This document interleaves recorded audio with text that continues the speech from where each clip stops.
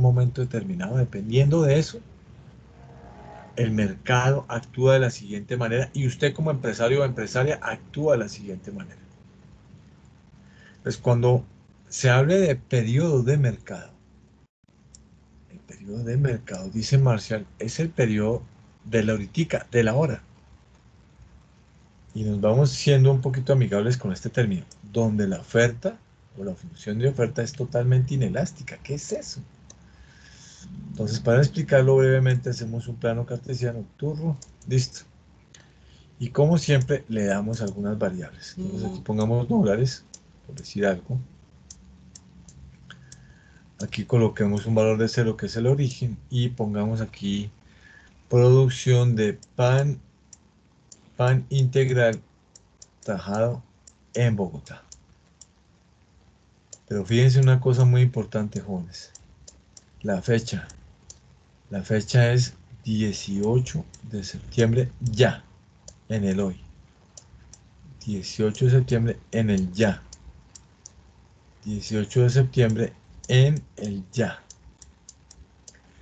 Pero lo que dice es que es totalmente inelástica. Cuando le hablan que es totalmente inelástica, la función de oferta es que es paralela al eje vertical. Es decir, un solo valor, un solo valor. Porque en el ya, pues eso es lo que se oferta ya. O sea, no hay posibilidad de cambiar. Entonces, digamos que pan integral eh, tajado en Bogotá. Bueno, digamos que en el ya se están ofreciendo, se han ofrecido 5.000 unidades en Bogotá en este momento. ¿Usted lo puede cambiar? No, porque es el ya. Entonces, cuando yo les pida, dígame el periodo de mercado o en el tiempo de mercado, ya saben que ese periodo es para la oferta, el ya. El hoy, el hoy pero el ya, el ahora. Sin embargo, cuando se trate de un periodo de corto plazo, primero vamos a retomar lo que vimos en clase. Cuando decíamos que en esta clase el corto plazo iba a ser el periodo, que no pasara el año. Lo dijo Ronald Coase, ¿recuerdan? Y decían el corto plazo es máximo un año, o sea, por debajo del año. ¿Y qué dice Alfred Marshall al respecto? Dice, mire, en el corto plazo el empresario puede cambiar el número de unidades de producción. Entonces, en un año yo puedo dejar de producir, por ejemplo, estoy produciendo 50.000 unidades de pan tajado integral durante un año. Entonces, durante un año puedo producir más, hasta 55.000. Eso lo puede hacer el empresario. Pero en el corto plazo, de acuerdo Marcia, lo que yo no puedo hacer es cambiar toda la planta de producción. O sea, yo no puedo cambiar todo al mismo tiempo como es el software, el hardware, la planta, el espacio donde yo trabajo, la máquina, el equipo. Yo no puedo cambiar el robot con el que trabajo. Todo al mismo tiempo, y menos en época de recesión a nivel mundial como estamos viviendo. Pues cuando yo hablo de periodo de corto plazo, es el periodo en el cual el empresario o la empresaria no puede cambiar todo lo de la planta de producción. Sin embargo, Marshall habla del periodo de largo plazo. Para el empresario, el largo plazo es después del año. Puedo cambiar la producción, es decir, puedo producir efectivamente las 50.000 tajadas de pan integral, pero también puedo cambiar todo lo de la planta. Todo. Desde el mismo espacio, maquinaria, hardware, software, eh, todo lo que tiene que ver con eh, los repuestos inclusive, con los sitios de almacenamiento, con el espacio de trabajo, todo eso lo puedo cambiar, toda la planta de producción, todo eso lo puedo cambiar en un año, o más de un año, que es el largo plazo. Y Alfred Marshall considera un cuarto tiempo para el empresario, lo ha llamado periodo secular. Periodo secular. ¿Y qué es eso del periodo secular? Según Alfred Marshall, el periodo secular es aquel periodo durante el cual, estamos hablando de muy largo plazo, posiblemente una década. ¿Por qué? Porque es cuando toda la población ha cambiado, cuando los mercados han cambiado. Diríamos en un ejemplo que es ustedes viéndose como empresarios o empresarias o cliente en el 2030. Imagínense ustedes en el 2030 qué van a hacer. ¿Qué tipo de estructura de empresa van a construir? ¿Qué tipo de cliente van a cautivar? ¿Cómo lo van a cautivar? ¿Cómo van a hacer los pagos? ¿Qué quieren comprar las personas? Ese periodo, Alfred Marshall lo llama como el periodo secular. Muy bien. Juan Lady Paola Caicedo, ¿me está escuchando? Sí, sí, señor. Lady, ¿quedó claro? Sí, sí, señor, profe. Vale. Joven Harold Steven Díaz Ropero, ¿quedó claro? Sí, señor. Bueno, entonces sigamos. Muy bien, si eso quedó claro. Alfred Marshall hace una consideración con respecto a la oferta del empresario a nivel estratégico. Una consideración, fíjense, es que lo escribió hace 130 años y créanme, eso todavía existe, tal cual. Hace una consideración de tipo estratégico. Y dice, mire, en el corto plazo, en el corto plazo y entre más corto sea ese plazo, la toma de decisiones del empresario está más influenciada por el cliente. Y si ustedes se dan cuenta, el corto plazo es casi que el diario hoy en día a través de las redes sociales, todo lo que ustedes opinan, todo lo que ustedes dicen. Ese espacio lo recoge un buen empresario, una buena empresaria, hoy en día recoge toda esa información y toma decisiones de tipo estratégico o táctico. Hay una diferencia, ya les digo, algún día les contaré por qué hay una diferencia entre táctica y estrategia. Pero en el largo plazo, o sea, por encima de un año, la toma de decisiones que se genere pensando en el largo plazo están influenciadas puramente por el empresario. Es lo que en, estrategia se llama como el concepto visional o de visión de la empresa. Y en ese caso, la decisión, por supuesto, la toma siempre, siempre la toma es lo que es el empresario. Bueno, entonces, Sigamos jóvenes, efectivamente, esto es una situación muy interesante. Pero preguntemos, es que a mí me gusta preguntar, yo soy preguntón. Joven Karen Natalia Díaz Ahogal. Karen, ¿me escuchas? Sí, señor profe. Esa Karen está volando, se les escucha aquí como si estuviéramos en primer, en primer nivel, Karen. Karen, ¿quedó claro eso de, de esas cosas que comentó el profesor Marshall hace 130 años y que están vigentes hoy en día? Fíjate. Eh, sí, señor, lo que hablaste en la primera diapositiva me quedó claro, pero no sé si me podrías volver a explicar rápidamente lo de la segunda diapositiva. ¿Qué de la segunda diapositiva dijiste? Uy, ese profesor cómo explica las vainas de rápido, yo no entiendo. ah, pues es que yo hablo rápido. Eh, lo que entendí en, la segunda diapositiva más o menos es que cuando, cuando el tiempo es mayor, quien tiene o sea, quien tiene como el mando, por decirlo así, o el que decide es el empresario. Y cuando estamos hablando de un tiempo mucho menor, el que tiene las el que toma las decisiones es el consumidor. Lo único que yo te, te, metería además es que lo has dicho perfecto, pero todo apunta a la estrategia, ¿no?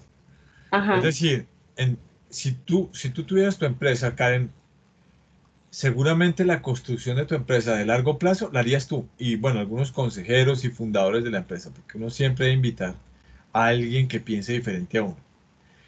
Pero si tú tuvieras tu empresa y estuvieras tomando decisiones en el hoy, tú estarías revisando tus bases de datos, qué dicen los clientes, qué opinión toman, qué preferencias tiene el mercado.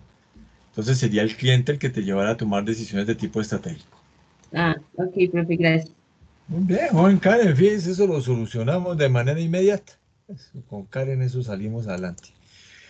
Joven Karen, ¿cómo le parece que hoy vamos a ver, aparte de todo eso, ahora la interacción entre la oferta y la demanda? Es decir, cuando interactúa la oferta y la demanda en un mercado con ciertas condiciones, pues ¿qué pasa?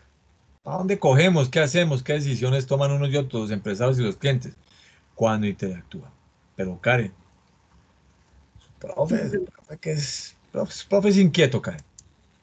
Sí. Le trae a Mario Benedetti, joven Karen. Si no la convencí, joven Karen y jóvenes, de que aprovechen el día de mañana, a ver si Mario Benedetti los convence. Y las convence.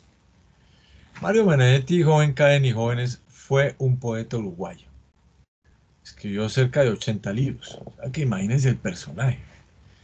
Este hombre, si mi memoria no me falla, nació en 1920, por eso cuando tenía los, la luz de los 20, perteneció a una famosa generación de escritores uruguayos que se llama así, la generación de los 40. Y pues hombre, yo me traje de él aquí una, unas seis líneas de todo lo que escribió. Imagínense, uno escribiendo 80 libros, ¿cuánto había debido escribir? Usted me confunde. A veces siento que me quieres y a veces siento que no. Un día somos inseparables y al otro me tratas como extraños. Y no sé cómo lo haces porque yo estoy queriéndote siempre. Miren, jóvenes, yo no sé por qué estamos pensando a veces que escribir un poema es una cosa ridícula. Y a veces hasta a veces me molesta. Ay, mire, esta vieja escribiéndome, pues no, este tipo escribiéndome es que un poema era tan ridículo. Yo creo que no hay nada más sincero y más del corazón que escribirle un poema a una persona. Pues bien, Mario Benedetti en un sexteto nos hace ver lo que puede ser la importancia y la relevancia de hablar de estos temas en días como mañana. Ojalá lo aprovechen.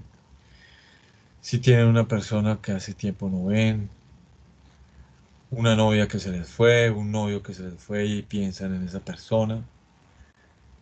Pues hombre, le miren, sí, pues, peleamos y todo y nos dimos duro, usted me dio aquí por la nariz y yo le di por la oreja. Pero no, usted sabe que siempre fuimos muy buenos amigos por encima de todo.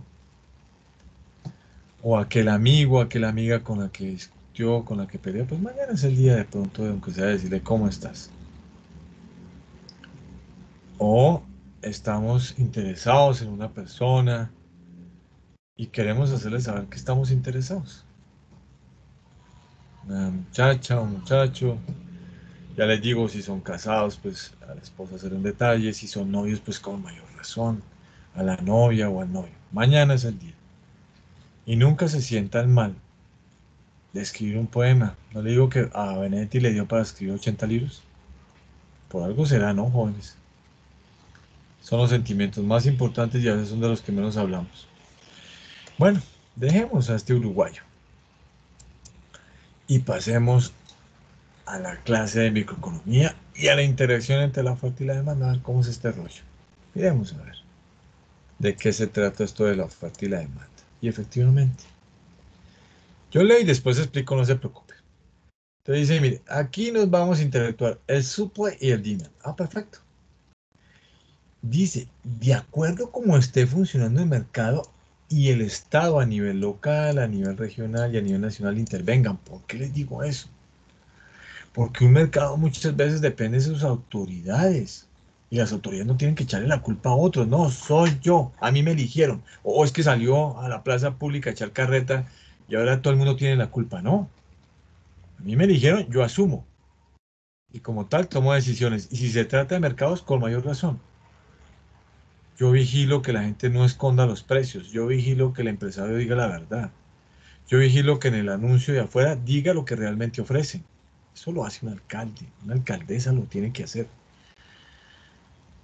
Entonces, Adam Smith nos ayudó con ese tema. Como digo que yo soy preguntón. A ver, miremos a ver. Joven Paula Vianey, a Mezquita. Paula, ¿cómo va todo? Bien, sí, señor. Paula, ¿te acuerdas de ese señor Anna Smith? Sí, ¿Y te acuerdas que escribió por ahí un libro?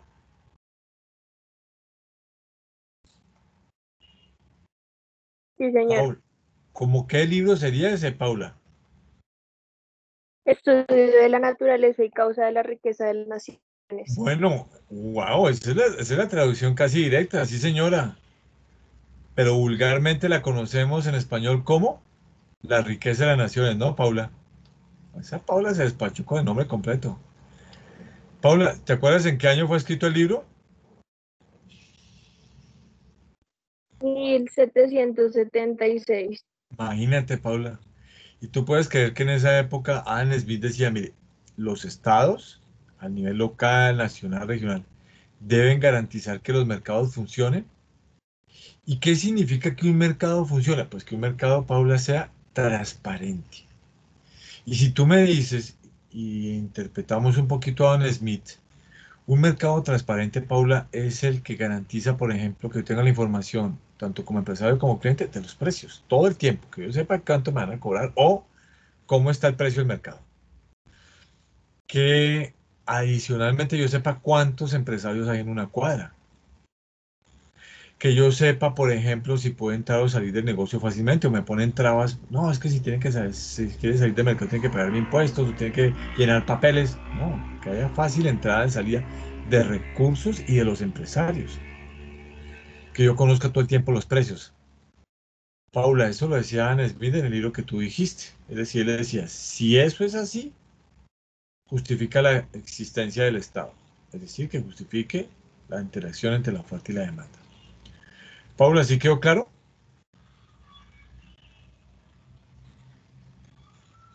Paula Vianella Mezquita Villarraga. Caramba, esa Paula se me desconectó. Ah, bueno, listo. Gracias, Paula.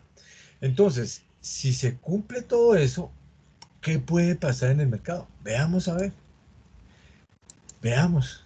Dice, hay una primera situación en la cual los precios pueden estar por encima del equilibrio. ¿qué es esto? Si es que el profe no ha dibujado nada, yo no entiendo nada, profe. Ustedes en sus casas van a hacer un ejemplo diferente del profe, por supuesto, con mejor pulso que el profe. Hacen un plano cartesiano. Y colocan el origen. Y su ISO 4217. Yo amanecí muy nacionalista, entonces voy a colocar COP. Y aquí vamos a hablar, a ver, como de qué. Hablemos de a ver, pantalonetas. Pantalonetas color azul, color más hermoso que existe. No es porque tenga que ver del mejor equipo del mundo que es Millonarios, pero, pero, casi. Pantalonetas color azul, eh, Bogotá. Listo, perfecto. Y, por supuesto, vamos a colocar fechas. Ustedes colocan fechas diferentes. 7 de febrero, 7 de febrero. Y colocamos por ejemplo 05 de abril. 05 de abril. Y fíjense que aquí y lo decía el título de nuestra clase de hoy interacción entre la oferta y la demanda. Vamos a hacer un dibujo de la función de demanda primero. Juan Carlos Augusto Lozano Carlos dígame profe Carlos, ¿la función de demanda tiene pendiente negativa o positiva? Función de demanda. Normalmente. Generalmente es negativa. Negativa, negativa eh, listo, entonces yo la voy a dibujar. Listo. Carlos, eso matemáticamente, ¿qué quiere decir? Que si un precio sube, si la, la variable precio sube, ¿qué pasa con la demanda normalmente? Eh, va bajando, disminuye. Disminuye, si suben los precios normalmente, pues uno demanda menos, ¿cierto? Señor. o sea, matemáticamente eso implica que hay una relación inversa entre las variables. Y microeconómicamente, Carlos, significa que cuando suban los precios, los demandantes normalmente demandan menos. Y cuando bajan los precios, normalmente demandan más. Eso ya lo vimos. Por eso la pendiente es negativa. Hay explicación matemática y microeconómica. Perfecto. Tú mismo, Carlos, ¿Y la función de oferta qué pendiente tiene? Eh, positiva. Positiva, eso Carlos la cogió de una, profe, no me enrede, yo ya sé las cosas, eso sí olvídese. Entonces le ponemos una S aquí, Carlos. Listo. Carlos, matemáticamente y microeconómicamente, ¿qué significa que la función de oferta tenga pendiente positiva? Cuando el precio disminuye, la oferta puede subir, se puede decir. Te pregunto, Carlos, ¿eso quiere decir que cuando te bajen los precios de mercado y tú eres empresario dices, uy, bajaron los precios, pero buscamos más? ¿Tú reacciones así? Ah, no, no, no. No, no, no. ¿Por qué no? Pues porque no estaría ganando tanto. Entonces, si suben los precios, pues... ¿Qué hace como empresario? ¿Produce más o produce menos? Si sube el, precio de cierto producto que yo estoy produciendo, evidentemente. En el mercado, no, no tú.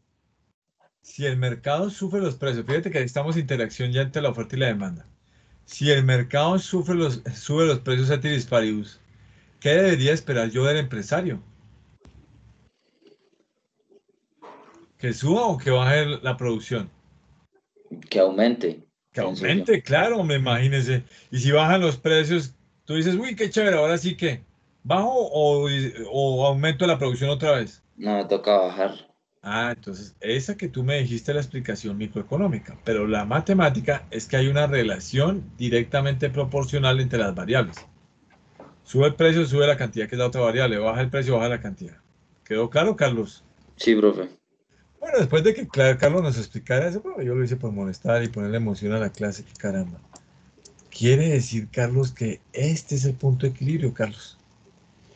Y que para saber el precio de equilibrio yo lo proyecto con puntos suspensivos, Carlos, hacia el eje vertical. ¿Sí lo ves, Carlos? Sí, sí profe. Vamos a darle un precio, Carlos, qué caramba.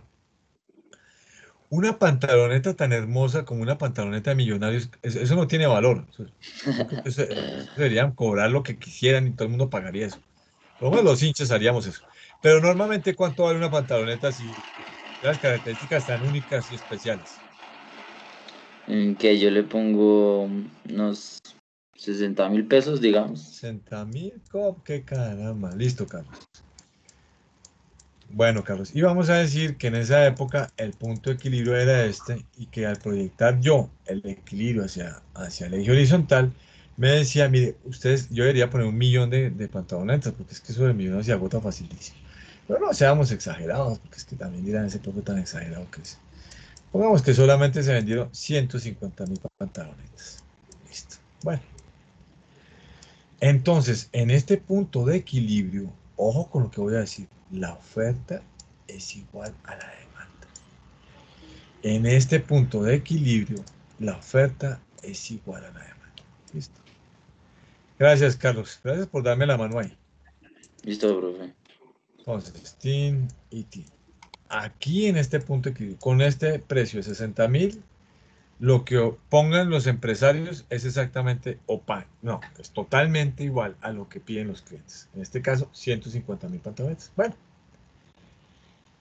¿qué sucede si el mercado, qué sucede si el mercado coloca ni más ni menos que un precio por encima del punto de equilibrio? Entonces, si es por encima, pues ya no es 60 mil. Si es por encima, pues yo iría a 69 mil. Ustedes en su casa hacen otro ejemplo. 69 mil. Listo. Lo primero que tengo que ver es a qué corresponde la función de oferta y demanda. Entonces, proyecto hacia adelante. Y lo primero que me encuentro es la función de demanda. Donde corto la función de demanda es el punto A. Perfecto. Y sigo, sigo proyectando puntos suspensivos, puntos suspensivos, puntos suspensivos. ¡Pum! Me encontré con la función de oferta, entonces punto B. Cuando yo proyecte A y B hacia el eje horizontal, voy a saber cuántas pantalonetas significa eso.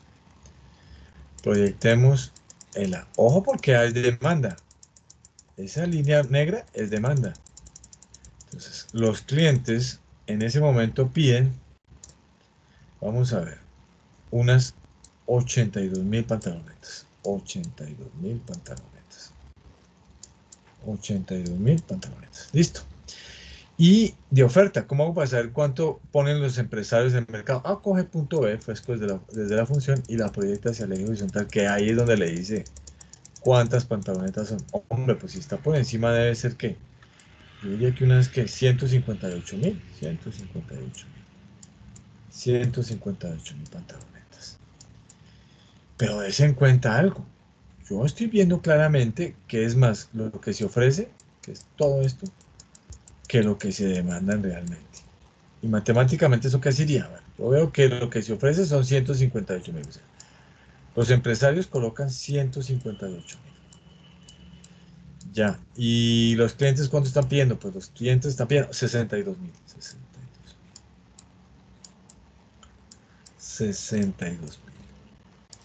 ¿Y eso da cuánto? Eso es harto, oiga. 62.158.000. mil. Entonces son 48. 48 más 58. 96. Eh, bueno, ustedes me corrigen. A ver. 96 mil. Bueno, 96 mil. ¿Listo? Entonces, pongámosle estos colorcitos y vea lo bonito que se va a ver esto. Yo estoy diciendo que esto, que es la cantidad ofertada, o lo que colocan los empresarios, menos la cantidad demandada, me da un excedente en el mercado de 96 mil pantalones. el mercado está colocando 96 mil pantalones de más que la gente no quiera. Esto es el excedente. El mercado está en una situación donde hay un excedente o hay un exceso de inventarios de 96 mil pantalonetas. Bueno, ¿qué hace el mercado Setiris A ver, con lo que voy a decir. Ya lo había explicado, pero lo voy a retomar. Si el mercado es un mercado transparente, como decía Anne Smith, es decir, hay perfecta información de los precios. Hay perfecta información de la cantidad de empresas. Hay perfecta información con respecto a cuántos empresarios hay en una cuadra y en otra. Hay perfecta información cuando el empresario saca y hace publicidad afuera y corresponde a lo que está dentro. Hay perfecta información cuando un empresario puede entrar y salir fácilmente de un negocio. O puede traer insumos a ese negocio, no le ponen trabas. Viceversa, hay mala información cuando el empresario esconde precios y el alcalde no dice nada o la alcaldesa no dice nada.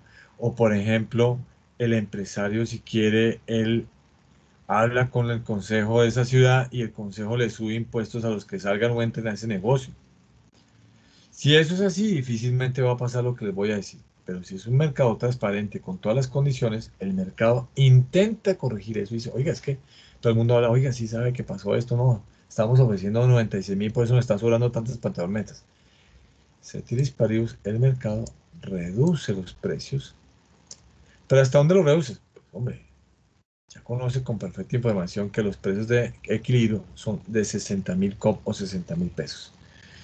Entonces el mercado pasa de 69 mil COP a 60.000 COP. ¿Por qué? Porque en este punto de equilibrio, ahí en ese punto, la oferta es igual a la demanda. Y con eso corrige ese excedente. Y el mercado queda en equilibrio. Jóvenes, ¿quedó claro? Joven David Alejandro Herrán, ¿quedó claro? Sí, profe, claro. Listo, listo, David, chévere. Pero David, ¿qué pasa si es al revés. Antes de entender eso, veamos a ver si lo que dijimos corresponde a lo que está escrito acá o el profe echó un carretazo que él ni sabía lo que estaba diciendo. Una situación por encima genera que haya más oferta que demanda. Es decir, se está colocando por encima de producción, de oferta, por encima de lo que realmente están pidiendo los consumidores. Pero si este es un mercado de transparencia por precios, por información, por número de empresarios, eh, por calidad de producto, inclusive para entrar y salir, el mercado corrige esta situación y evita que al haber más oferta que demanda se genere una acumulación de producción. ¿Cómo lo, lo genera? Disminuyendo los precios hasta buscar el precio de equilibrio. Disminuye hasta llegar al punto de equilibrio. Y sí, fue lo que vimos. Pero ¿qué sucede si en cambio de estar por encima del precio de equilibrio está por debajo del precio de equilibrio? Veamos a ver. ¿Qué pasa si en cambio está por encima, está por debajo del precio? Entonces, hagamos una nueva gráfica. Hagamos una nueva gráfica. Y efectivamente no salió otra vez Alfa Alfa se sale por todos lados en esta clase. A ver, un momentico. Entonces busquemos otra vez la otra parte de la clase porque esto aquí se nos armó un despelote. Listo. Entonces vamos a hacer, ¿qué pasa cuando el mercado manifiesta una situación en la cual los precios están por debajo de los precios de equilibrio? Hagamos nuestro plano cartesiano, ustedes lo hacen allá. Por supuesto, este plano cartesiano va a tener su ISO 47. Yo amanecí hoy muy nacionalista, ya les dije, entonces pongo aquí cero y pongamos aquí producción de producción de cordones blancos para tenis. Para tenis. producción de cordones en la ciudad de Bogotá. Vemos fechas, que caramba, vemos fechas. Entonces colocamos, digamos que esto es del 03 de febrero, usted ya seguramente algo diferente. 03 de febrero al 21 de abril. 21 de abril. Muy bien. Y resulta que en ese periodo pasó lo siguiente. Ya sabemos que la función de demanda tiene pendiente negativo, pero que la función de oferta eh, tiene pendiente positivo. Listo. Vamos así. Y que esto tiene un precio de equilibrio. Entonces digamos que un par de, un par de cordones está más o menos a 1100 cop. 1100 cop. Listo. Y en ese punto de equilibrio, si yo quiero saber cuál es la cantidad de equilibrio de mercado, pues yo lo proyecto hacia abajo, hacia abajo. Y me da que entre ese periodo sería más o menos de 10.000 unidades de pares de cordones. En este punto de equilibrio, la demanda es igual a la oferta. Entonces vamos a colocarles algunos valores que todos entendamos de qué se trata. La demanda es igual a la oferta acá. Este es un punto de equilibrio y ahí efectivamente el precio está a 1100 COP y se venden 10.000 pares. Todo perfecto, vamos a darle nombre, ¿no? Esto se llama demanda y esta se llama oferta. Perfecto, listo. Pero se presenta esta situación por debajo, pues ya no será 1100, ¿no? Si es por debajo, digamos que es 950. Y a 950 COP proyectamos esto y ¡pum! encontramos un primer punto con una función, encontré con una función que lo vamos a llamar A. Y si seguimos proyectando, cortamos otro punto acá que se llama B. Perfecto, listo. Si quiero saber, ah, pero primero, ¿qué, ¿qué, función es esta? Ah, pues la función de oferta. ¿Cuánto es eso en el mercado en producto? ¿Cuánto es? Proyecto entonces ese punto va hacia la ejecución tal. Ahí le va a decir, pues parece que es por debajo de los 10.000. Ah, bueno, entonces debe ser más o menos 8.700 pares de cordones blancos. Listo. Y el punto B, que es la función de demanda, bueno, los clientes en ese momento está por encima, entonces pues coloco un número por encima, entonces coloquemos 10.950. 10.950. Perfecto.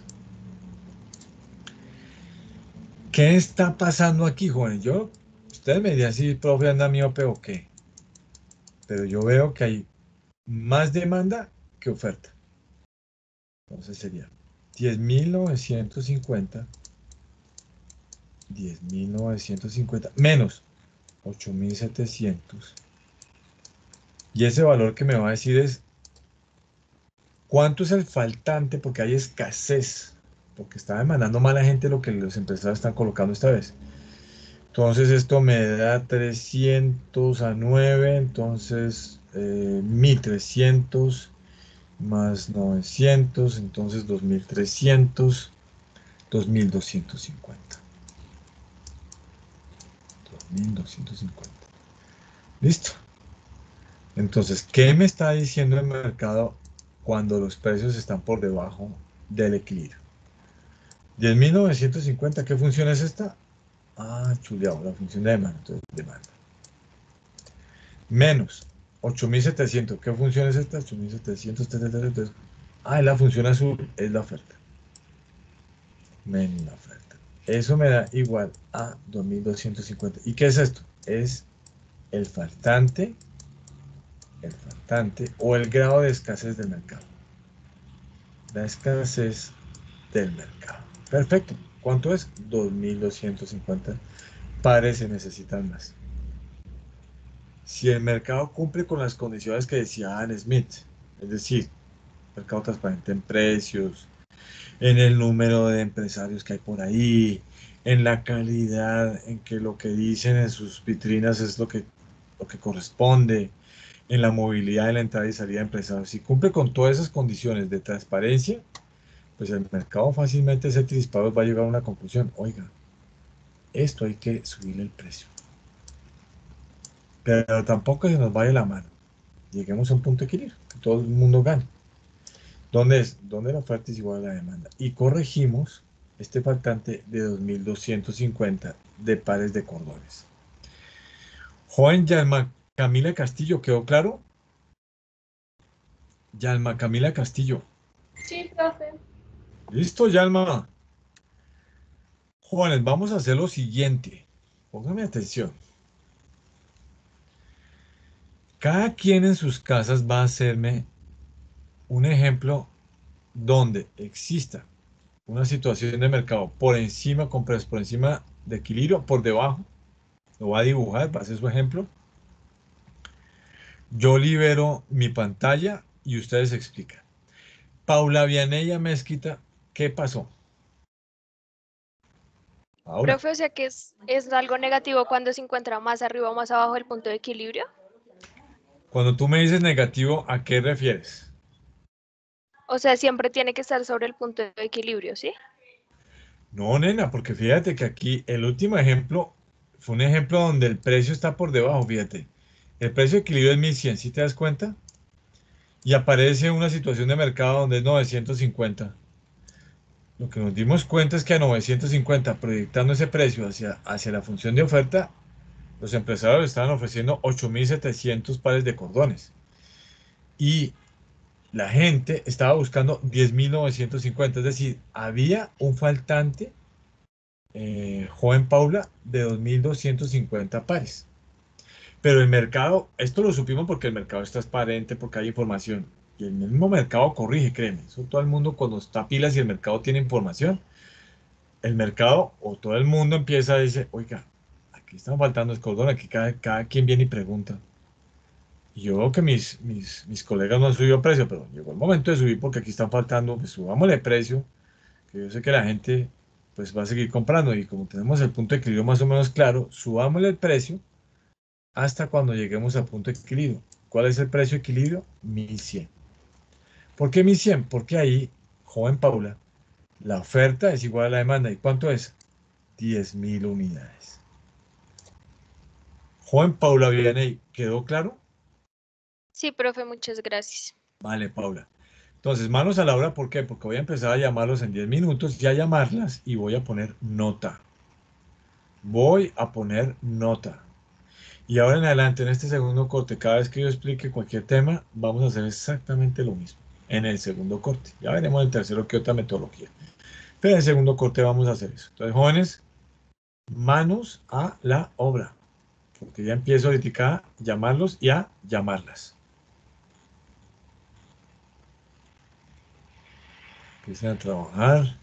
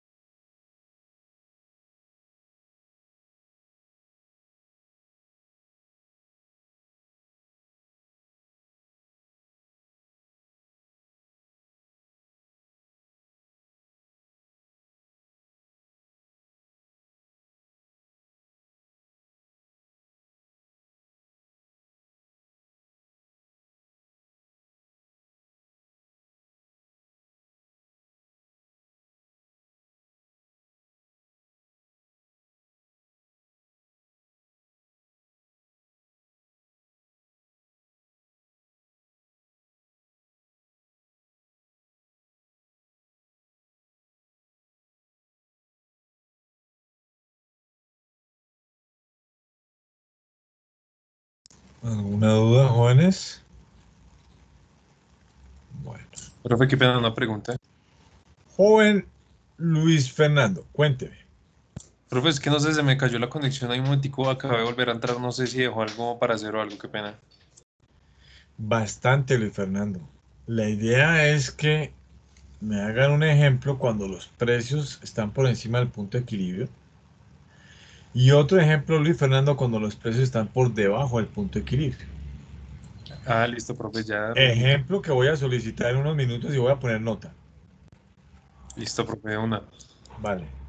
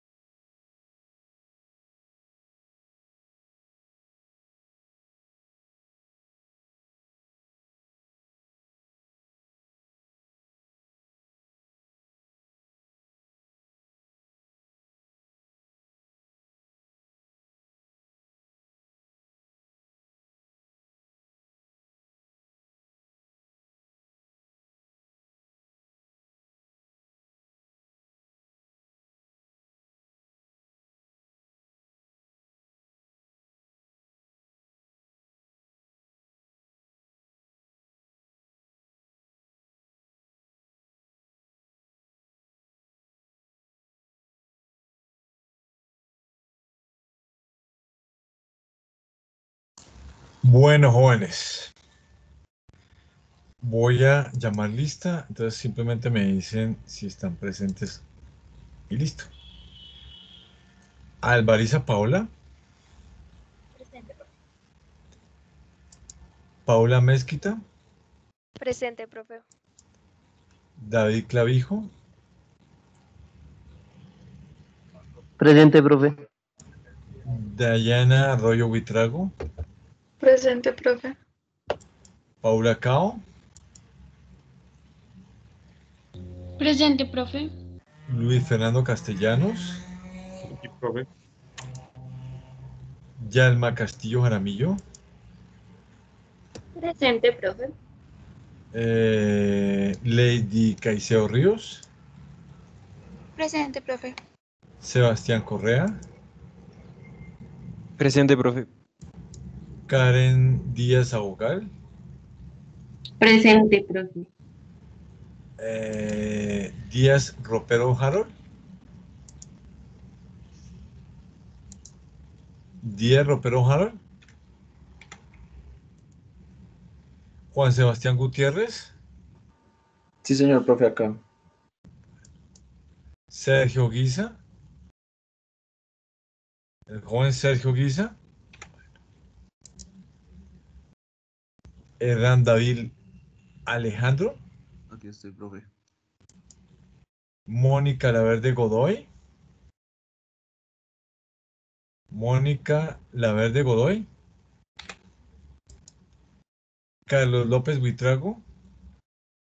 Presente, Carlos. profe. ¿Quién, ¿Quién de todas las personas que nombré? Mónica, Mónica. Muy bien, joven Mónica. Carlos López Buitrago. Carlos López Buitrago. Eh, profe, ¿Cómo- ¿Qué? ¿Cómo? eh, qué pena, lo que pasa es que él me comentó que no podía entrar a clase hoy porque estaba sin internet desde ayer. ¿Estaba qué? Sin internet desde ayer. Gracias, Nel. Eh, Santiago López Delgado. Santiago López Delgado. Santiago López Delgado. Carlos Lozano Castro. Carlos Lozano Castro. Muy bien. Presente, presente, profe. Julián Niño Velandia. Presente, profe. Eh, Angie Sánchez.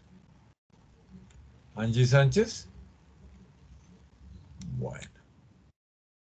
Luis Serrano. El joven Luis. Ah, ok, Luis. Bueno, yo les dejo, además esto entra ya para el segundo corte, yo les dejo ya esa opción que voluntariamente empiecen. No vayan a dejar aplazar porque yo esto lo voy a hacer de ahora en adelante en todas las yo actividades. por llamar a lista. Nombre completo. Juan José Barbosa Mesa. Barbosa Mesa. Pero es que debe ser tan bueno. Al final de la clase hablamos los dos. Listo, tú te profe. esperas, por favor. Si me haces el favor. Un momentico, a ver, yo noto el nombre completo porque es que yo veo que algunas actividades no las has hecho. Y por eso no estás ahí. Bueno, muy bien. Listo. Entonces, jóvenes, eh, ¿quién se ofrece voluntariamente para pasar aquí? Joven Paula Viene. Bien, Paula. Paula, ¿me escuchas? Sí, señor. Bueno, Paula, qué chévere, me alegro muchísimo. Voy a soltar la pantalla y tú sabes eh, ocupar la pantalla o hacerte la pantalla. ¿Sabes cómo hacerlo? Ay, profe, lo hice en el cuaderno. No, pues ¿qué tiene? Igual tiene que explicarme de dónde salió hoy las gráficas, o si no, ¿cómo me explicas esto? Pues entonces me imagino que le tomarás una foto en PDF, entonces mientras que arreglas eso yo sigo llamando a personas. ¿Alguien más se ofrece voluntariamente, aparte de Paula? Joven Karen Natalia Díaz Abogal. Karen Natalia Díaz Abogal. Sí, profe, sí, ya tengo la foto. Ah, listo. ¿Me puedes subir por favor lo que hiciste? Vale. Listo. Bueno, muy bien. Karen Natalia. A ver. Karen. Díaz Zamora, Muy bien. A ver, muy bien. Eh, ¿Ya se ve, profe? Volando, esto aquí estamos, mejor dicho, volando, así como tu presentación. Listo, entonces yo te pregunto y tú me explicas. A ver, explícame el caso en el cual el mercado muestra precios por encima del precio de equilibrio. Muéstrame una situación en la cual... Listo. Entonces, la situación pues es la venta de computadores en la ciudad de Bogotá del 5 de marzo al 6 de mayo. Entonces, pues como en el mes de mar de, sí, en el mes de marzo, pues inició la cuarentena y la gente tuvo que empezar a trabajar desde casa, eh, se dio pues un punto por encima de- del equilibrio, ya que los precios en el mercado de los computadores eh, aumentaron de 400 dólares a 600 dólares. Entonces, eh, allí podemos ver que se creó un excedente de computadores de 30.000 unidades, eh, pues ya que las personas dejaron de comprar pues los computadores por lo que el precio estaba tan alto. Entonces, pues la idea es que en el mercado eh, los precios bajen para que se vuelva el punto de equilibrio, pues donde la oferta es igual a la demanda y las personas vuelvan a comprar eh, pues los productos que quedaron de excedente. Una pregunta, eh, joven Karen. ¿Qué condiciones tenía el mercado para que todo el mundo supiera y, y reaccionara de esa manera? O sea, ¿qué, qué, qué hacía que el mercado fuera tan flexible y tomara esas señales inequívocamente para cambiar paribus el precio? Eh, o sea, para que los precios bajaran otra vez hacia el punto de equilibrio. Ajá, ajá. Eh, pues, el mercado tiene que ser transparente, o sea que cuando el, pues el Estado intervenga sea realmente transparente y no oculte los precios, diga la verdad. Eh, también deben estar enterados tanto consumidores como productores de los precios y las cantidades que hay en el mercado. Bueno, muy bien, joven Karen. Lo felicito, muy bien. Muy bien, Karen. Eh, al final te quedas y yo te doy la nota eh, y te explico la nota. A ver, eh, te toca que te salgas, Karen. A ver, a ver, a ver, a ver. A ver quién más está por aquí anotándose. Joven Paula Andrea Cao. Joven Paula Andrea Cao. ¿Me escucha? Paula Andrea Cao. Sí, profe. Paula, tú levantaste la mano, entonces yo me imagino que sigues tú. Vale. Listo, ya la pantalla está suelta, la niña ya lo soltó. Entonces ahora tú vas a la pantalla. Perfecto, Paula. Esa Paula Listo, está profe, ¿ya están viendo? Uy, no, esta Paula no, esta Paula voló. Paula, ahora yo te voy a preguntar una situación en la cual el mercado muestre eh, precios por debajo del mercado. Precios por debajo del mercado. A ver. Bueno, entonces, pues primero les muestro, es eh, mercado de gorras por unidad, es en, en cota, ¿sí? Ya. Eh, bueno, eh, los precios por debajo del punto de equilibrio son los que se muestran en amarillo, los puntos en amarillo. Ya. Entonces, el punto de equilibrio dice que se venden a 20.200 unidades, que se supone que es eso. Pero la oferta, en este caso como lo encontramos, está ofreciendo 100 unidades, pero la demanda necesita las de 300 unidades. Entonces podemos encontrar un faltante de 200 unidades. Perfecto. Y entonces, ¿qué hace el mercado? Pues eh, subir la, el precio y pues la producción por ende también. Te hago la misma pregunta que le hice eh, a tu compañera. ¿Qué condiciones del mercado facilitaron esa subida de precios? Pues, pues saber primero el punto de equilibrio y saber pues, o sea, qué es lo justo y este el faltante que, que encontramos para llegar a ese punto de equilibrio y pues que en realidad pues este es el, el precio al que se debe vender transparentemente, como lo decía ya también. O sea, con esa re- con ese como ese filtro que se hace para saber cuál es el precio justo. Ya. No se te olvide una cosa muy importante, Pablo. Me gusta mucho lo que hiciste. Yo no he querido trabajar en Excel porque yo sé que muchos de ustedes tienen problemas con los computadores o no tienen computador en este momento. Pero yo te voy a enseñar un par de cositas. La primera, no se te olvide que todos los cuadros siempre, siempre deben tener nombre. Siempre. Que eso lo pusiste, pero se coloca en la parte superior. Lo otro es que tiene que tener un número. Aquí yo, por ejemplo, veo tres tablas y un cuadro. O bueno, un gráfico. Sí, señor. Entonces hay que enumerar tabla 1, tabla 2, tabla 3. ¿Listo? Listo. Bueno. Y también la fuente. Porque eso lo ayudó a hacer, me imagino, que la joven Paula acaba en su, en su genialidad. Esto de manejar el Excel es muy fácil. Pero ya le digo, no lo voy a hacer obligatorio en este curso. Porque sé que muchos de ustedes y muchas de ustedes pues no tienen esa facilidad. No me voy a, a poner intransigente con ese tema, entendiendo la situación de hoy en día. Pero Paula, aprovechando la oportunidad, ¿por qué no le explicas a las personas cómo se genera una gráfica de estas en Excel? Para los que tengan el Excel en la casa. Pues bueno, eh, yo sé sacar más o menos lo que es las curvas, ¿no? Solamente las curvas. Pues yo, yo te diría algo. Lo primero es hacer un cuadro, ¿cierto? En Excel lo Sí, primero que se señor. hace es el cuadro de datos. ¿Listo? Y yo que tú pues, lo llamaste gorras por unidad cota en tres columnas. Pusiste datos de oferta, datos de demanda y precios. Sí, señor. ¿Cierto? Listo. ¿Y después qué hiciste? Tomo los datos y me voy a insertar. Ya, Siempre cojo eh, la de dispersión ya. y tomo esta. Pues aquí a veces no sale como, pues bien porque no toma los ejes como exactamente son. Ah, ya, perfecto. Entonces lo que hago es arreglar. Si se está viendo la tablita, ¿verdad? Todo. Estamos, mejor dicho, aprendiendo que da miedo. Entonces aquí en seleccionar datos me voy, digamos, a escoger una serie y le pongo modificar. Aquí, digamos, cojo la oferta. Entonces, como nombre. Y aquí lo que hago es seleccionar los datos que quiero en el eje X. O sea, las cantidades.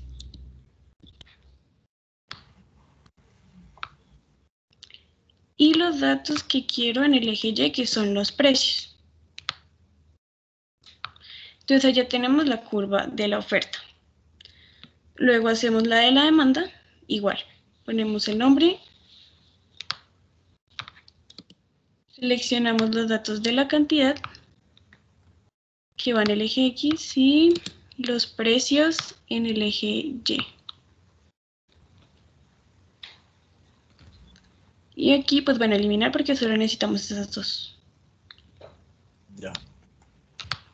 Lo que no sé si me trabó la pantalla. Em, ¿Te molesta si nos haces una demostración desde cero? Para que extraes la pantalla. Pues espérate, profe, dejo de compartir un momento. Ah, listo, Porque listo, creo que salte. es eso. Creo que es eso que no me deja. Listo, listo, salte y, y vuelve y entras y me avisas y yo mientras aquí le damos el chance a otra persona. Vale. Eh, ¿Alguien más? La última opción ya. A ver, a ver. La primera persona, yo veo la lista y la primera persona que esté en la lista, esa es. A ver. Angie Paola Alba Ariza. Angie Paola. Sí, señor, ya comparto. Vale, Angie.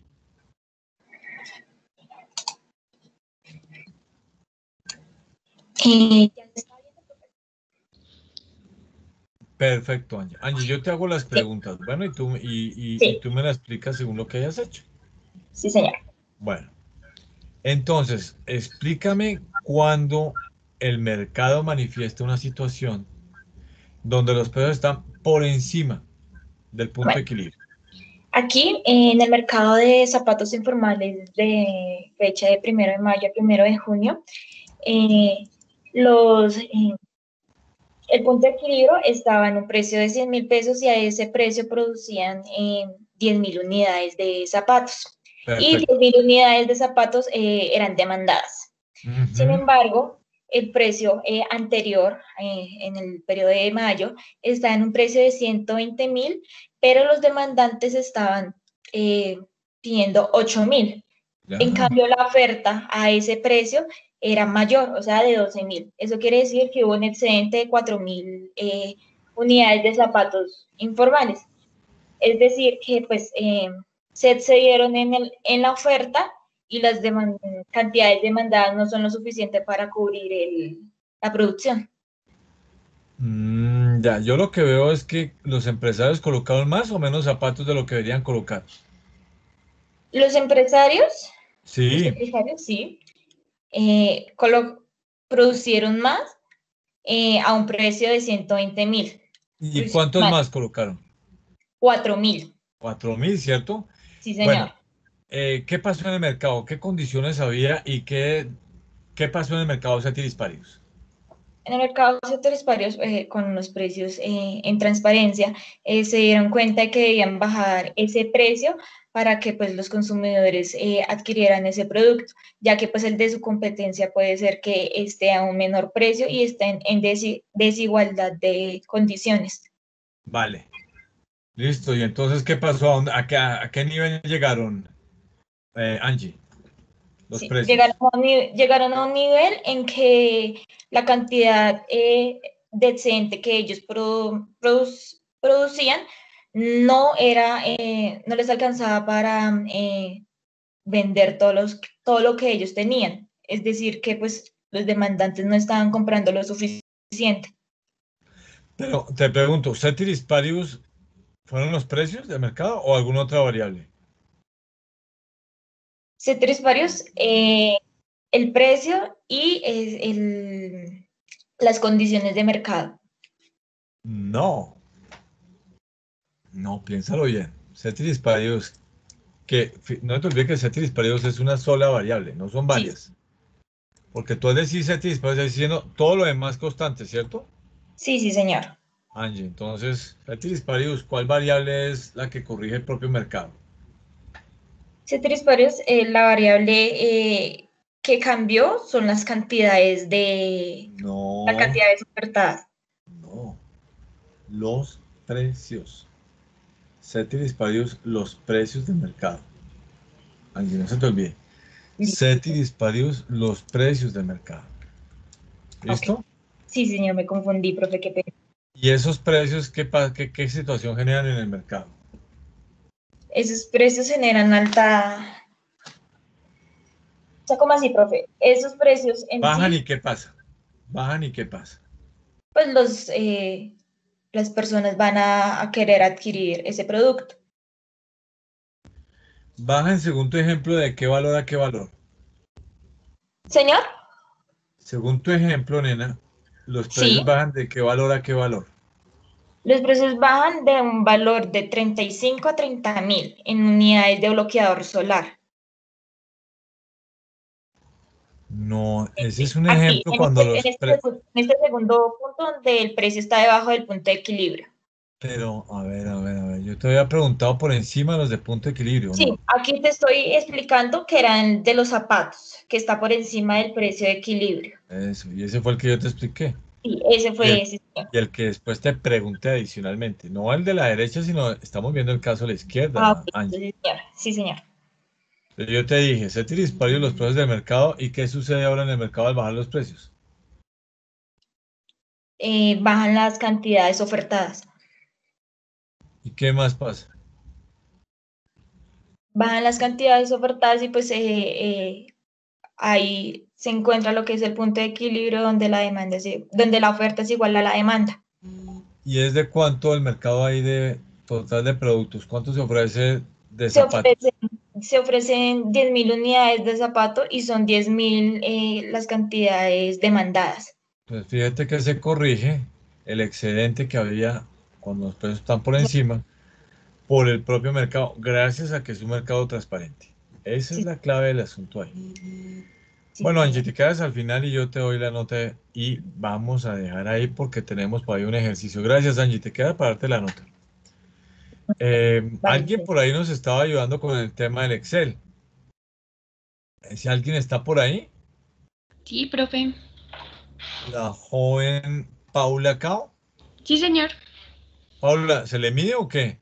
Sí, creo que ya. Es que creo que es como que solo, como solo estaba compartiendo el Excel, entonces no me salía todo. Listo, listo, listo, hazlo, hazlo. Y ya les digo, no les voy a exigir eso, pero es chévere que lo veamos cómo lo hace eh, la joven Anja, más que muy gentil, eh, la joven Paula, que muy gentilmente se ofreció. Porque yo entiendo, jóvenes, que eh, muchas personas en este momento, por temas de infraestructura y lo que sea, pues no están con computador. Yo como voy a poner de intransigente. Pero para quienes la tienen, pues chévere aprender a hacer eso. Listo, Angie. Paula. Eh, Paula, perdón. Bueno, eh, ahora sí están viendo, ¿verdad? Sí, Paula, de una. ¿Qué Entonces, seleccionamos. cuadro. Sí, hay que seleccionamos, hacer eso. seleccionamos eh, todas pues, las variables Ah, y vamos, pues yo siempre tomo las tablas de dispersión. sí, sirve. Aquí no, pues no sale exactamente porque no toma los ejes, o sea, no toma las cantidades en los ejes que son. Entonces vamos a filtros de gráfica y ahí, si están viendo eso, ¿verdad? Sí, sí. Entonces ponemos seleccionar y aquí pues modificamos, digamos, la serie 1 y le ponemos el nombre de oferta. Como les decía, pues se ponen las cantidades en el eje X, se seleccionan y al igual con el eje Y. Y ahí ya tenemos la oferta. Luego hacemos la demanda, que es igual, tomamos el nombre, eh, los valores en X, las cantidades y en Y los precios. Y ya. Para agregarle nombres a los ejes, nos vamos al más y aquí dice como títulos en los ejes y aquí pues les ponemos las cantidades y precios. Perfecto. Y ya. Bueno, Y lo otro es hay que hacer con formas. ¿Cómo, cómo, eh, Paula? Eh, para hacer, digamos, las líneas y los puntos, para... Me tocó pues ir a insertar y pues con formas, con líneas y pues los círculos. Ah, perfecto. O mejor dicho, ¿no? Esa, esa Paula más es una dura en este. Paula, gracias. Vale, profe. Ya les digo, no lo voy a hacer obligatorio, pero para quien quiera aquí en adelante hacer mis gráficas así, pues lo hacen así. Y listo, no problema. Eh, creo que hay alguna pregunta. Julián Eduardo, ¿tienes alguna pregunta? No, no, profe, qué pena. Bueno, listo. Bueno, jóvenes, un premio adicional para las tres niñas es que eh, de aquí en adelante este segundo corte vamos a hacer muchos ejercicios así. Es decir, termino la explicación y purrún, y lo dejamos para calificar de una vez en vivo y en directo. Las tres niñas ya no necesitan hacer y pasar al tablero cuando ya han pasado por primera vez. Ahora, eso no quiere decir, y es una recomendación personal, que cuando yo ponga ejercicios en clase no lo hagan. ¿Por qué? Porque si no lo hacen después del día del parcial, cuando yo lo ponga, no lo van a saber hacer. No lo van a saber hacer.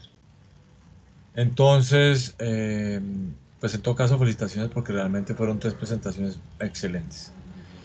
Eh, se quedan al final, lo mismo que por favor el joven Barbosa Mesa Juan.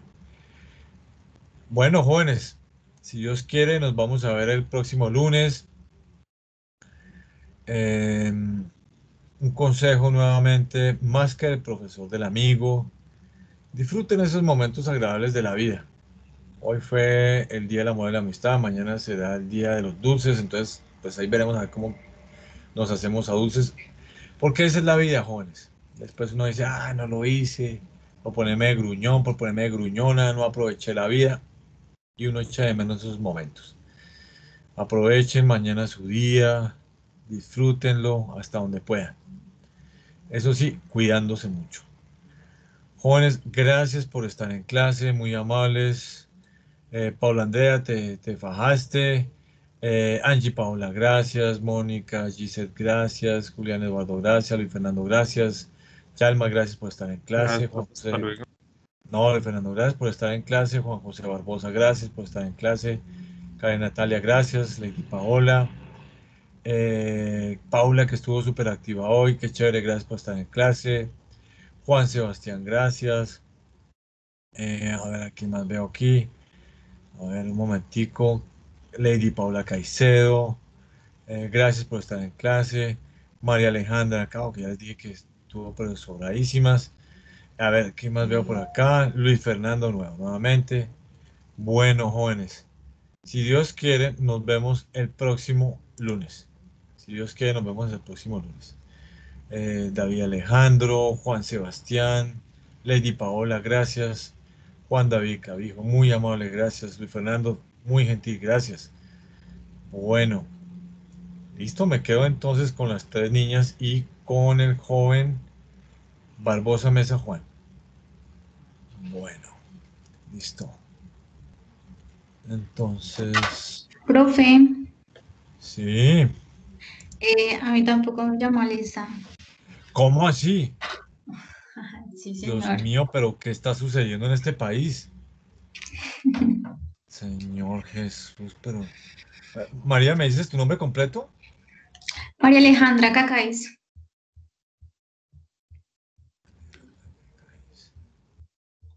Caramba, pero ¿qué pasaría ahí? Dame un segundo, María Alejandra. Entonces quédate también porque tenemos que ver qué pasó ahí. Listo, sí, señor. Entonces, Cacaís, eh, ¿cuál es el segundo apellido, María? Loaiza. No, hay... Con Z, ¿cierto? Sí, señor.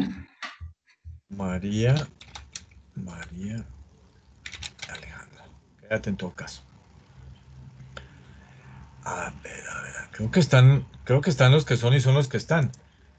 De resto, no quiero ver a nadie de las personas que dijimos que no íbamos a hablar. Aquí deben estar presentes la joven Cacaís, el joven Barbosa, Alvariza Paola, eh, Cao Paula y Karen Díaz Abugal, no más. Y veo seis personas acá. Deben ser cinco personas nomás. Dayana Arroyo. Dayana, Dayana no quiere perder de nada, ella quiere conocer absolutamente todo lo que pasa en el curso. No importa el detalle, no importa la situación, no, no importa lo que esté pasando, ella quiere saber todo. Dayana, Dayana Arroyo. Dayana. Dayana Arroyo. Bueno. Em, bueno, empezamos con las notas. Paula, ¿me escuchas? Paula Andrea. Sí, señor. Paula, eh, primero gracias por la mano, pero como te dije, aprovechar que tú manejas muy bien Excel y sobre todo pues que los muchachos no se sientan obligados a hacer eso porque todos nos hemos dado cuenta pues que no todos tenemos los recursos o tecnológicos o físicos para tener un computador bien en este momento, pero chévere que hayas ayudado con eso, Paula, gracias. Por eso te dejé una nota de 4 o 5 adicionalmente a lo que explicaste. Muy bien, Paula. Rara vez pongo esa nota, Paula. Vale, gracias, profe. Bueno, eh, Karen Sabogal. Carol. Sí, señor profe. Claro, no, muy buena explicación, muy bien, te felicito, muy bien, muy buena Gracias, explicación, por eso también te dejé 4 o 5 porque estuviste muy bien en tu explicación. Muy bien, Vale, profe, gracias. Bueno, ya con quien vaya hablando, por favor, va saliendo. Paula y Karen, ya pueden ir saliendo. Eso. Eh, Paula Alvariza. Sí, señor. Paula, ahí te me ibas colgando a lo último, ibas lo más de bien y esas preguntas. Sí, me confundí, qué pena, profe. Bueno, por eso te puse 3.8 porque pues el resto de explicación y el gráfico estaba muy bien hecho. ¿Listo, Paula? Vale, sí, señor, gracias, profe. Vale, Paula, nos vemos, cuídate. Chao. Bueno, a ver, ¿por quién empiezo? Pues aquí por... eh, Juan, pero tú presentaste los trabajos que yo pedí para el primer corte. Sí, señor. El único que no presenté fue el primero, pero el segundo sí lo presenté, que usted nos pidió eh, cuatro ejercicios y pues que lo, con la explicación mínimo de 200 palabras. Eh, también presenté el parcial. Porque es que me preocupa porque no te veo. Y estoy buscándote en los otros grupos y tampoco te veo. No te estoy viendo. O sea, no, no, no. profe? No. No, y aquí están las personas que me han presentado precisamente. Sí, espero, profe, y entro también a la plataforma y confirmo todo. Porque quiere decir que, pues imagínate, pues, la nota va a ser pésima este primer corte para ti. Y es que no aparece. Y si ves en la plataforma, por eso te pregunto. Yo soy muy cuidadoso, no solamente califico, sino No. explico por qué la calificación. Yo creo que yo soy antes exagerado en eso porque yo me cojo y me leo y hasta las comas les digo que les hace falta. Sí, yo soy así. Y, y tú no apareces. Tienes, por ejemplo, en el mira, en el Classboard del 2108 no lo hiciste, tienes cero. En el, volo- en el, en, en el, volun- el voluntario no lo hiciste, pues bueno, es voluntario, pues quedas excusado, o sea, no Sí, señor. es obligatorio. El, El, el- el voluntario del Classboard 28 de 4 agosto. septiembre. No, el ¿Cómo? voluntario no, profe. El voluntario no lo hice. Ah, el Classwork del 4 de septiembre, sí lo Ah, bueno. presenté. Ah, bueno, pero los otros dos no. No, no, señor. No. No. Ah, por eso. Entonces, ya sabes que tienes mínimo un cero en, estos, en este primer corte. Y ya te dije por qué lo sacaste. Igual está en la plataforma. Tienes que ver qué es lo que está pasando, Juan. Que no te Sí, puedes colgar así de fácil. Sí, señor. Bueno, ok. Bueno, Juan, hablamos entonces el lunes, nos vemos en clase. Listo, profe. Profe, o sea que, eh, o sea, la actividad del primer corte, el de la primera actividad me quedó cero, ¿cierto? Cero, 2108, cero. Sí. Ah, ok, pero la otra sí la presenté, sí aparecía Ah, ahí. bueno. Seguramente tendrás tu nota, no te preocupes. Ah, listo, profe. Lástima que no hiciste el voluntario, porque ese voluntario te hubiera quitado la peor nota, que en este caso hubiera sido un cero, fíjate. Sí, profe, es que tengo un problema con ese internet, claro que... Bueno. Mm. Ay, bueno, Dios. profe, muchas gracias. Vale, Juan, ánimo. Listo. A ver, listo. María, María, Sí, ¿te señor. pasa lo mismo, María? Sí, profe, yo sí, la verdad, sí tuve muchos problemas al principio con el internet, no tenía el portátil, no, eso fue una locura, pero sí considero por qué motivo no presenté las actividades. Bueno, María, pilas porque te pegaste una colgada terrible, María. Sí, Y eso tampoco sí, hiciste el es voluntario. No, y el voluntario te hubiera salvado. Es por eso yo pongo esos voluntarios. Sí, señor, sí, la verdad, fue muchas causas que la verdad sí lo considero. María, ¿y el parcial? Sí lo presenté. Bueno, pues yo espero que te haya ido bien porque las otras notas te va a ir regular, nena. Mm, Ánimo, ánimo, ánimo. Y ya, ya lo solucionaste, pero ya tienes computador. no, porque ya, gracias a Dios. de pronto en el programa. Ah, bueno, bueno. No, sí, ya todo lo solucioné en el internet, me tocó literalmente comprar uno, Claro, eh, María. porque no, no podía. No, María, imagínate, a mí también, yo tenía un Sony Vallav, imagínate, buenísimo y todo, pero pues ya para esta velocidad y esto me tocó conseguir uno y pedir plata para donde fuera porque, Sí. pues sí, esto se convirtió en la herramienta de trabajo, imagínate. Sí, señor, sí, porque tenía uno que con el que trabajaba pues en el primer semestre y creo Sí. que ya este me dijo, no más, Sí, claro, así nos pasa a todos. Sí. tocó comprar, sí, señor, pero no, ya vamos con todas, profesor. Vale, vale, María, ánimo, ¿no? Te quiero ver en la jugada. Listo, sí, señor, profe. Vale, Dale, María. muchísimas gracias. No, María, cuídate mucho, ¿viste? Bueno, profe, hasta luego, que esté bien. Gracias. No, María, cuídate.